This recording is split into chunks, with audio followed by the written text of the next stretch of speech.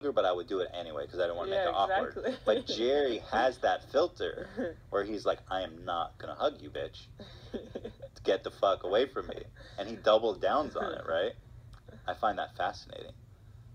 And I, and it reminds me of this other great Jerry Seinfeld clip I want to watch. Jerry Seinfeld on Larry